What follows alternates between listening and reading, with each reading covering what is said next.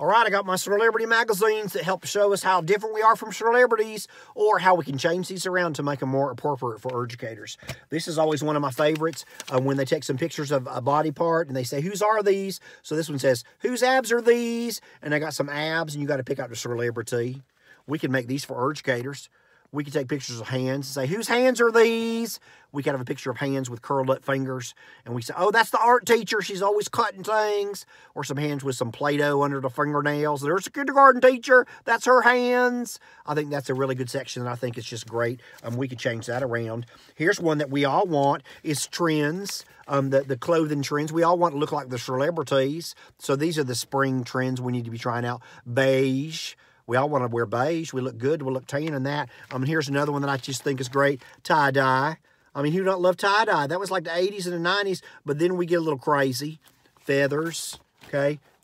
Our educators, don't be wearing no feathers. Okay, we're not Big Bird. They'll be all over the school. Don't be wearing no feather clothes. And this is even worse. Look right here. Biker shorts. This is the new thing. Them Kardashians got on some biker shorts. Don't be wearing no biker shorts to school. Okay, it's bad enough we got leggings all over the place, and don't be showing your student teachers this. That they're they're thinking they're styling wearing them bicycle shorts. Drive me crazy. And look right here. Uh, th this is one of my favorite sections always too. Is twinning. It's when they take uh, pictures of celebrities and say we're twinning. You know what this would look like if it was an Educator magazine? Oh, look, we got on LuLaRoe um, Disney at leggings. Let's take a picture. We're twinning. Or, hey, we got on the same uh, blue jean jumpers. Uh, we're twinning. Take a picture. That would have been in the 80s. I love the twinning. We got teachers that need to be twinning all the time. And look right here. It always talks about how they spend their money. This is a spending spree from a celebrity. It's Chris Hemsworth. He spent $5,000 on, on a surfing lesson for Kelly Slater to give him a surfing lesson. You know what spending splurge is for educators? A 12 pack of Fluoro pens. Them things are expensive. Ooh, let's splurge and get some um, Fluoro pens in all colors. Or um, the um, Scotch Tape brand of, of Scotch Tape rather than the dollar stores. Because you can pull it, it doesn't rip. That's a spending spree for educators. Good Lord, $5,000 for a lesson. Here's one of the sections I always have too is uh, eating habits.